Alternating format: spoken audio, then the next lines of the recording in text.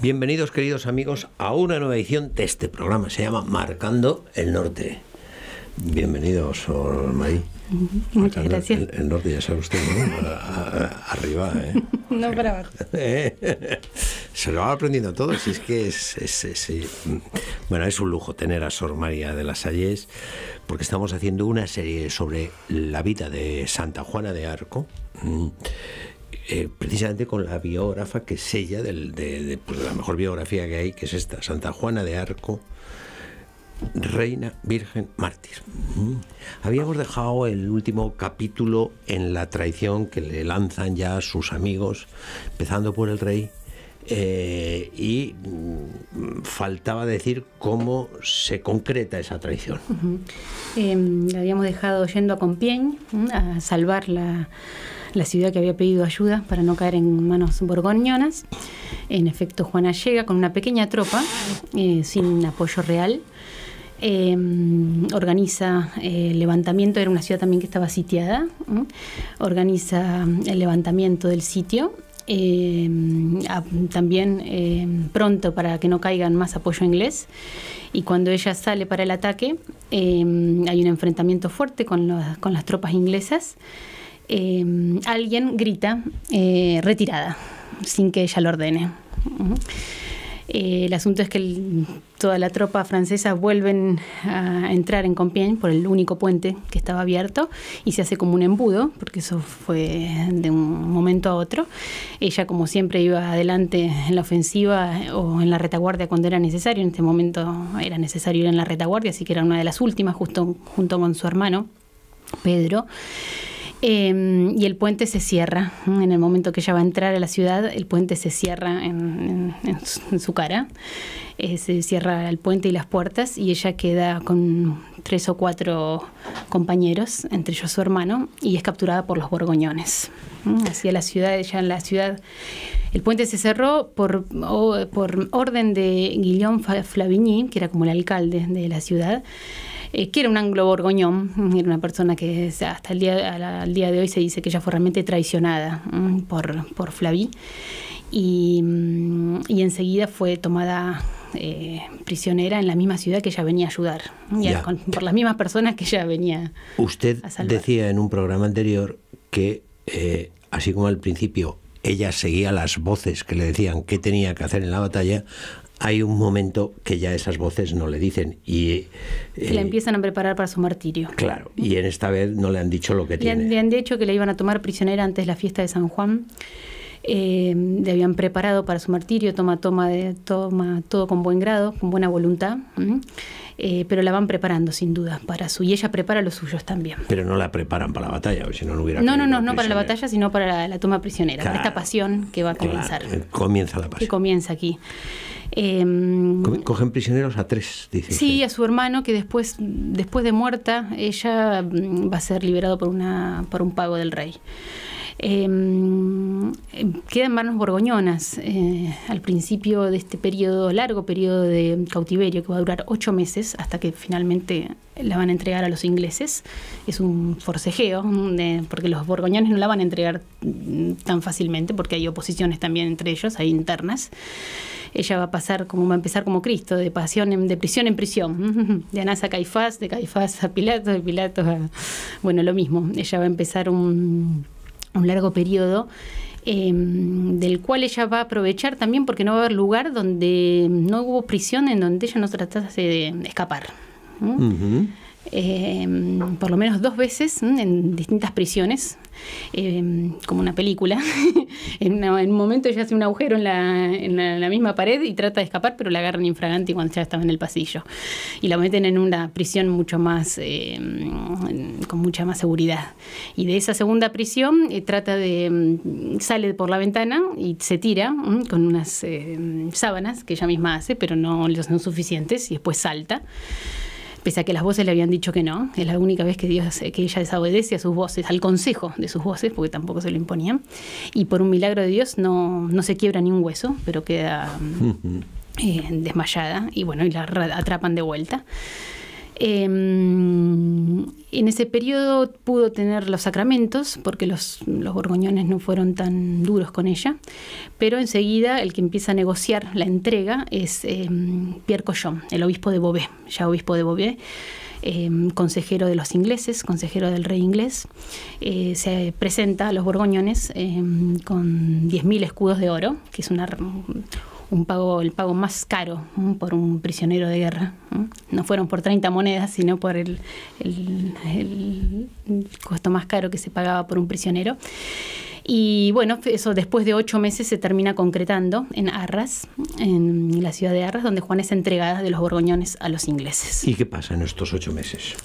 Em, es un periodo de preparación para el proceso. Ellos mismos, los mismos ingleses, van preparando porque apenas la toman prisionera.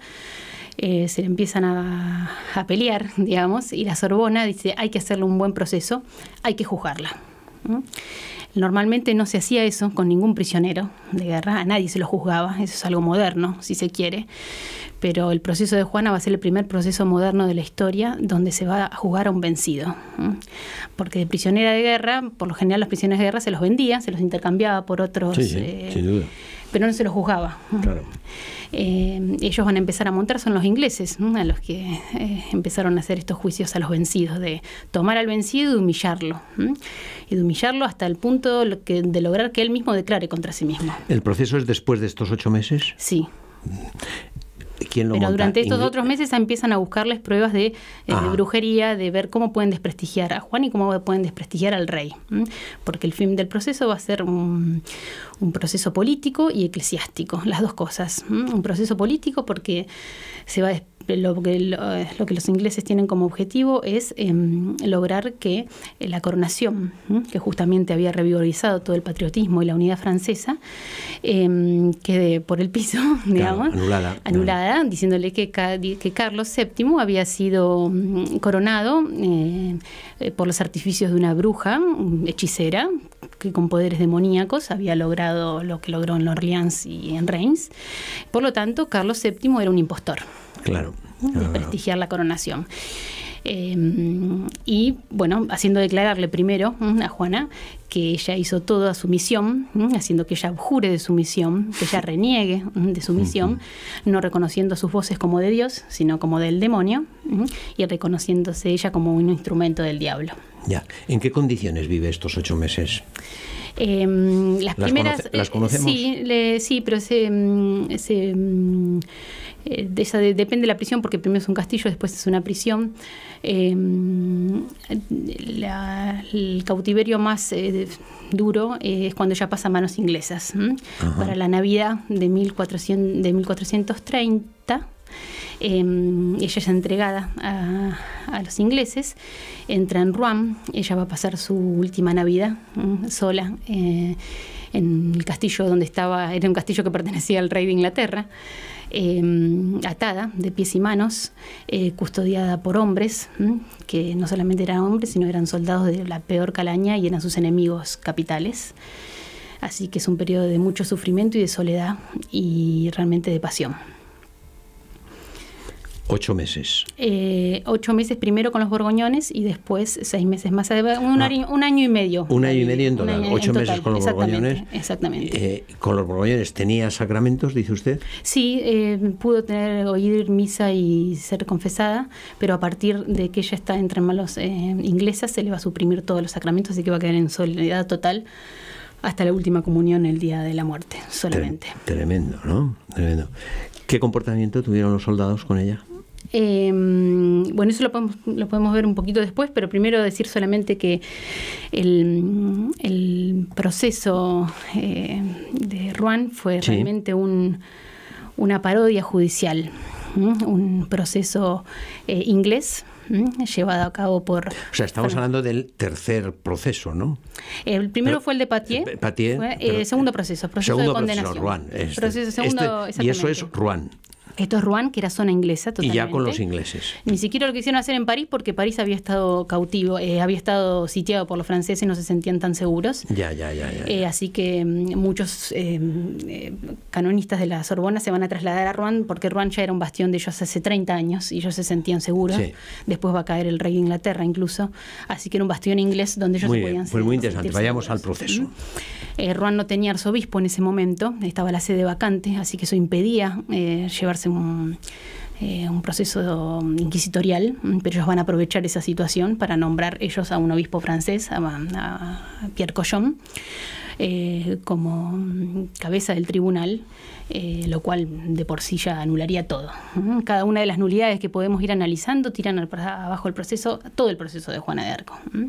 Pero bueno, va a ser una gran parodia judicial, si se quiere, mm, disfrazada de, un proceso de iglesia, pero mm, un asesinato premeditado, porque la sentencia ya la tenía antes. La tenía, bueno, desde el principio decía usted que la querían coger para quemarla. Exactamente, el crimen judicial perfecto, se dice, el crimen judicial perfecto. Pues cuéntenos cómo fue ese proceso. Eh, Juana fue acusada eh, por haber coronado, por haber ayudado a coronar al rey, por poderes de bruja y hechicera. Em, eh, lo primero que va a objetar Juana es que yo, ya fui juzgada. Non bis in idem. Yo ya fui juzgada en Poitiers. Por eso durante, la, durante el proceso ella va a citar varias veces, eso ya lo he contestado, ya lo dije. Pero bueno, ellos no van a reconocer evidentemente el primer proceso de Poitiers y van a hacer un proceso para ellos. Un buen proceso. Eh, solamente para nombrar algunas eh, irregularidades, eh, no se van a. Era bueno, un proceso de la, la Inquisición.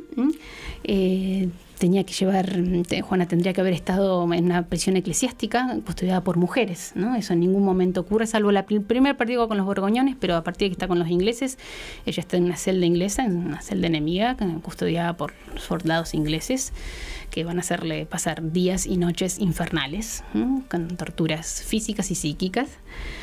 Em, las paradojas no podrían ser mayores porque Juana mm, va a estar va a ser una niña menor que se va a enfrentar sola ante un tribunal espectacular, un solemne tribunal. Eh, entre 30 y 40, 50, 60 jueces. 30, 40, sí. Hay 113 jueces que han estado, que han pasado. No van a estar nunca todos juntos, pero, pero son 113. Exactamente, 113 jueces, donde cual Collón era el juez. Presidente. Y se va a servir de todo un consejo, un gran solemne consejo, donde todos eran doctores. Eh, filósofos, em, exorcistas, canonistas, eh, demonólogos, em, todos con títulos eh, de doctores, y ella va a ser una niña sola, analfabeta. Tremendo. Recordemos ¿no? que Juana no se le va a dar abogado, tampoco, mm. ella se va a defender sola frente a un tribunal docto que se autodenominaba como el sol de la cristiandad, ellos se autodenominaban así. Em, así que bueno, eh, pues, desde el principio parecería que ya estaba todo decidido, pero ellos mismos van a quedar sorprendidos por la, por la defensa angelical que va a ser Juana. Y los va y no les va a ser fácil, porque una cosa que un juicio que parecería que iba a durar poco, eh, se les va a ir prolongando, se les va a ir prolongando y va a tardar cinco meses. Cinco meses de proceso. De enero hasta mayo, hasta la sentencia final, lo cual muestra que no le fue tan fácil eh, Darle la vuelta. montar todas las artimañas que hicieron exactamente. Eh, y en la cual Juana mostró un dominio de la situación, de los tiempos mismos, eh, de la materia del proceso, de lo que le iban a preguntar. Y bien empieza el proceso, le piden un juramento incondicional. Juras decir toda la verdad de lo que se te va a preguntar. Y la niña responde, sobre mi padre, sobre mi madre, sobre todo lo que yo he hecho desde que llegué a Francia, juraré sin problema yo puedo contar todo. Pero de las revelaciones que Dios me hizo, yo no los diré, ni los he revelado a nadie, sino solo a Carlos, mi rey. Y solo os lo, lo revelaré a él, aunque me corten la cabeza. Oh. Entonces, eso que normalmente es una, mm, un atributo del juez, la materia de qué va a preguntar, esta niña de 18 años dice que ella va a poner la materia. Yo voy a decir, algunas cosas voy a preguntar y sobre otras, no. Y otras preguntaré a mis voces a ver qué me aconsejan y después lo veremos. Entonces, por eso también en un momento le preguntan sobre las voces y ella dice, ah, eso me lo podés preguntar la semana que viene porque tengo que pedir mi consejo. Entonces va tirando para adelante. Pienso que también una estrategia de ella, para, porque ella realmente pensaba que podría ser salvada por los suyos. esperando que sea, sea, rescatada, hasta que las voces durante el proceso le van diciendo que ella te tiene que preparar para su martirio. Eh, pero bueno, ella muestra dominio de la situación. Eh, este en el primer proceso, la primera etapa del proceso se llama un proceso de, de oficio, donde había una investigación y el interrogatorio propiamente. Y la investigación se manda a hacer en Don Remy, en el lugar donde ella había nacido. Eh, la manda a hacer Collón con unos peritos, van buscando pruebas en contra. Y lo peor es que los peritos vuelven con pruebas a favor, diciendo que lo que han escuchado de Juana de Arco en Don Remy, Boculer y toda la zona, lo, les gustaría haberlo escuchado de su hermana, de su madre o de una hermana. Así que por lo cual Collón se enfada, eh, ni siquiera le paga los gastos que le tendría que haber pagado y descarta todas esas pruebas a favor desde el principio. Eh, y de los interrogatorios, que van a durar bastante tiempo, cuatro meses, después eh, Collón va a hacer como un resumen eh, ad hoc hecho por él, con extractos solamente, sacados de contexto, que van contra Juana. Así que tampoco se van a tener en cuenta sus pruebas. Y ella lo va a decir, ustedes anotáis todo lo que es en contra mío y no ponéis lo que es a favor mío. Claro, claro, claro de ese primer proceso, de la primera etapa de oficio, si hay realmente materia suficiente, se pasa a un proceso, al proceso ordinario propiamente, por si hay materia suficiente contra la fe, em, en el cual se la, si se la declaraba culpable, em, se le instaba a un arrepentimiento, lo que se llama abjuración.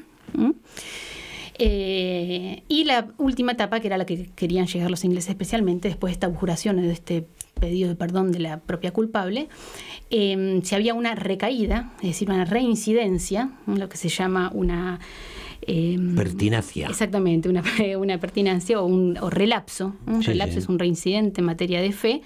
Ahí solamente, con, solamente en caso de, de reincidencia en materia de fe, se podía condenarla a la hoguera y es lo que el objetivo era el objetivo llevarla, llevarla, a ese punto que ella declare contra sí misma que ella eh, rechace su misión hable contra su misión y que después caiga de vuelta. Ese va a ser el objetivo principal.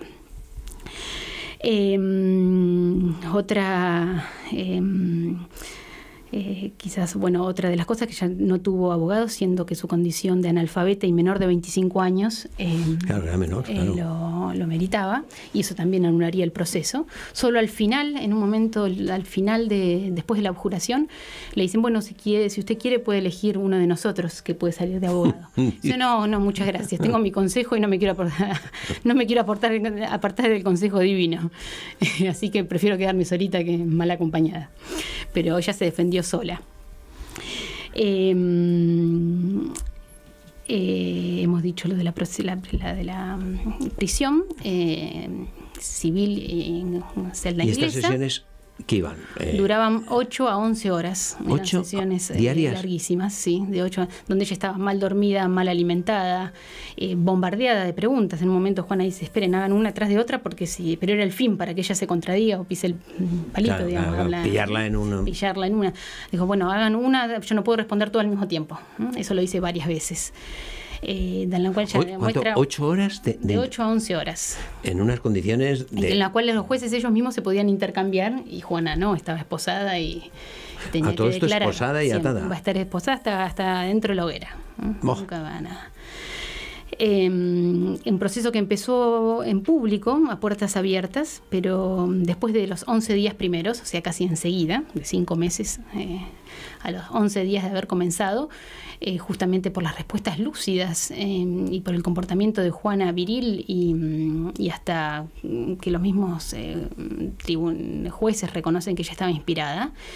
Y luego a unas respuestas bastante provocativas, podríamos decir, Collón decide hacerlo a puertas cerradas. Así que la gran cantidad del, proceso, de la, gran parte del proceso se hizo directamente a puertas cerradas, con un tribunal más reducido, eh, elegido por Collón a dedo. Todo el tribunal era. Mm, ¿Qué, entonces es obispo? Era francés, sí, y todos los consejeros realmente son todos eh, franceses. Eh, un cardenal, em, dos obispos y futuros, otros obispos a futuro después, em, eh, más de 10 abades de, toda la zona borgoñona, eh, inglesa. Pero eran todos, podríamos decir que es un tribunal llevado a cabo por la Sorbona, por los franceses, a sueldo inglés. Ya, ya, ya, entendido. Eh, ocho horas. ¿Alguna fase de las preguntas de la... Sí, em, Juana, primero no las reconoce jurisdicción. Oh. Primero, eh, no es que no reconozca la sumisión a la iglesia, sino que a ellos no le reconoce em, sumisión por ser sus enemigos capitales. Así que yo reconozco el proceso, de, por ejemplo, de Poitiers, o que me lleven, que me sea juzgada por la misma cantidad de franceses e ingleses de mi lado, igual, igual. O apela al Papa. Muchas veces, Juana, eh, Juana de Arco, solamente hay tres eh, em, inscripciones en, las actas, pero ha apelado muchas veces más al Papa para que su caso sea tratado por el Santo Padre. Y eso, su apelación suspendía el proceso. Entre otras cosas porque hay una Inquisición pontificia. Exactamente. y por el caso de revelaciones privadas era consternida. Y tenía, y tenía derecho, ¿eh? Tenía, todo el derecho. Tenía todo el derecho. Pero ellos eh, no van a hacerle caso en ningún momento. Eh, más van a decirle que el Papa está muy lejos y que no se puede ir al Papa. O no anotar esa respuesta. No se anota. Eso lo dice uno de los testigos. Em, por los cuales el Papa les quedaba lejos porque ellos no eran, en realidad eran ellos los que no reconocían la jurisdicción eh, al Santo Padre. Em, así que bueno, esa es otra de las nulidades grandes. Em, ustedes, dice Juana, de las preguntas, asumen una gran carga y se ponen en gran peligro porque en verdad yo soy enviada de Dios. Y si me juzgan mal, si vosotros hacéis lo que querés hacer conmigo, porque lo habían amenazado con la hoguera, Él, nuestro Señor, os quemará de cuerpo y alma. Y a Collón le dice cara a cara, vos decís que soy mi juez, yo no sé si lo sois, pero tened cuidado de no juzgarme mal, pues os pondré, pues os ponéis en gran peligro. Y yo os he advertido esto a fin de que si nuestro Señor os castiga por eso, yo hice mi deber en decíroslo.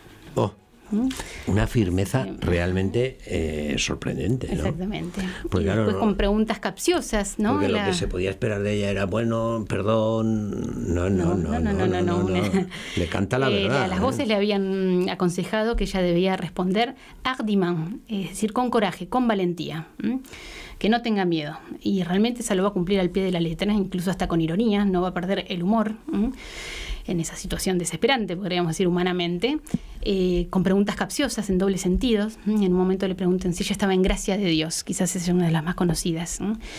Eh, y era una pregunta capciosa en el sentido que si ella respondía que sí, se confirmaba en gracia. Si contestaba que no, se ponía fuera de la iglesia. Si, si decía que sí. Que sí, que estaba en gracia de Dios, se confirmaba en gracia. Eh, como si yo ya estoy salvada. Y si se decía, respondía que no, estaba fuera de la iglesia porque no estaba en gracia de Dios. Entonces ella responde, si yo no estoy, que Dios me ponga, y si yo estoy, que Dios así me guarde. Yo sería la persona más dolida del mundo si supiera que no estoy en gracia de Dios. Y si no estuviera, y si yo estuviera en pecado, la voz no vendría a mí. Quisiera que cada uno la escuchase tan bien como yo la escucho. Clarísima la respuesta, claro. Dice que se hizo un silencio terrible en la sala, se cortó la sesión y solo uno de los tribunales dijo, qué lástima que esta niña no sea inglesa. Como había respondido. En un momento le preguntan también, ¿conocías algún borgoñón en, la, en tu aldea? Estaba, hablando a un tribunal que eran todos borgoñones, todos enemigos de ella, todos franceses aliados con los ingleses. Y le preguntan si ella conocía algún borgoñón. Sí, conocí uno y hubiese deseado que tenga que le corten la cabeza. Si eso, si eso hubiese placido a Dios. y todo se hizo un silencio enorme. Eh, después, con respecto a las voces, también preguntan, bueno, ¿en qué forma se os aparecía a Miguel Arcángel? Y no le vi una corona, eh, pero que estaba desnudo y con una... Le preguntan eso. Exactamente, y ella responde con minoría, ¿pensás que Dios no tiene con qué vestirlo? Eh, Santa Catalina y Santa Margarita odian a los ingleses. Le preguntan. Y ella contesta, ellas aman lo que aman nuestro Señor y odian lo que odia Dios. Entonces Dios odia a los ingleses, de vuelta. Sobre el amor o el odio que Dios tiene, a los ingleses no sé nada, pero me consta que serán arrojados de Francia, excepto los que aquí encuentren su tumba, y que Dios dará el triunfo a los franceses sobre los ingleses. Bueno. Una pregunta, una paloma que se escapa de la trampa. Eh, ¿Estaba Dios del lado de los ingleses cuando iban ganando entonces en Francia? ¿Mm? Yo no sé si Dios odia a los franceses, pero creo que él quería permitirles la derrota por sus pecados, a causa de sus Las pecados. causas de sus pecados, lo que hablábamos en unos programas relacionados con, con la revelación de Fátima. Las guerras son consecuencia de los pecados. Exactamente, exactamente. Eh, y Dios, ¿usted cree en Dios? Mejor que usted, le dice a uno. Bueno, salta como, como una escopeta, ¿no? Eh, así que bueno, esta, mm, estas respuestas que realmente son mm, luminosas. En- en El asunto es llevar, llevarla a una respuesta pa- para Y no acusarla. lo logran, y pasa el tiempo y no logran, y no Para logran acusarla sacarle una herejía. Realmente no logran sacarle nada y se empiezan a inquietar y empiezan a, a bueno, a ver cómo podemos hacerla caer. el tiempo va pasando. Eh, se someten de vuelta a un examen también de virginidad que eh, nuevamente no es puesto en, en- en la causa a favor de ella. Eh, le preguntan por su por el anillo y por el estandarte a ver si hay algún poder especial ahí le confiscan los anillos que ella tenía. Eh, y ella se mantiene firme tanto el- a quién quién quién ayudaba más a quién el estandarte a usted o usted al estandarte tanto la victoria del estandarte como la mía todo es de nuestro señor ¿m? para buscarle un poder especial a estas Claro, materiales ¿m? Claro. Eh, hasta que, bueno, en un momento le preguntan, ¿y Dios ha, ha permitido liberarte? ¿Te va a liberar por una gran batalla? ¿Te van a rescatar de aquí? Y ella respuesta, sí, Dios me ha perdido, que me ha dicho que me va a liberar. Entonces hace un murmullo nervioso en la asamblea. ¿Y recuerdas las palabras exactas de esas que, te han dicho tus voces? Sí, mis voces me han dicho que acepte todo de buen grado, que no me preocupe por mi martirio, porque al final yo estaré en el reino del paraíso. Y esto lo dicen mis voces de modo simple y absoluto, es decir, sin errar.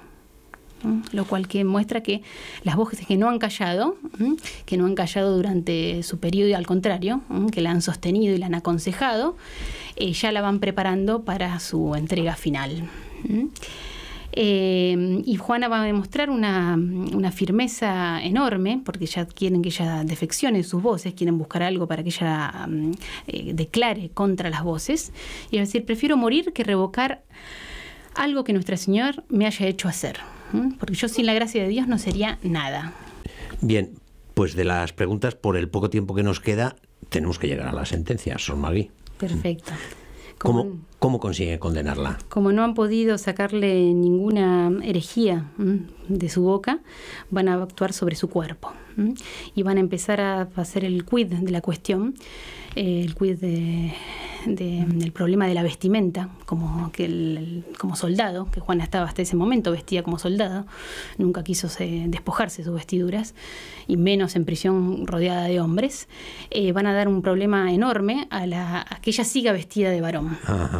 Haciendo de esta mm, vestimenta un problema, un signo de sumisión a la iglesia. Eh, como ve- vestida de varón, tú quieres seguir haciendo la guerra, tú quieres seguir eh, pecando, digamos. Así que si quieres, tienes, vas a tener que pedir perdón, y si pides perdón y te arrepientes, eh, te vas a tener que poner una ves- vestimenta de mujer y te vamos a dar los sacramentos. Y empiezan a chantajearla, lo que se llama Claro, esto, con ofrecerle los sacramentos y, y cambiarla de prisión a una, a una prisión eh, eclesiástica custodiada por mujeres, si hace eso. Si ella, bueno, aunque no diga nada, por lo menos eh, sácate los pantalones, ponete una pollera y preséntate así. Y así te vamos a creer que tú te has arrepentido. Es un problema farisaico. Sí, sí. ¿eh? que no y del cual Juana no entiende la artimaña, pero como sus voces le dicen que ella no se tiene que cambiar de ropa, que no tiene que sacarse los pantalones, ella dice yo no lo voy a hacer salvo que mis voces me lo digan Y no se lo quita. Y, no se lo quita. Y se acaba el tiempo. Hace cuánto tiempo así nos queda. Le- le- le- bueno, ¿qué, qué le vamos a hacer? Siempre dejamos los programas en el ay, ¿eh? ¿qué pasará? ¿Qué pasará? Bueno, pues, pues, pues mm, lo veremos en el siguiente capítulo. Perfecto.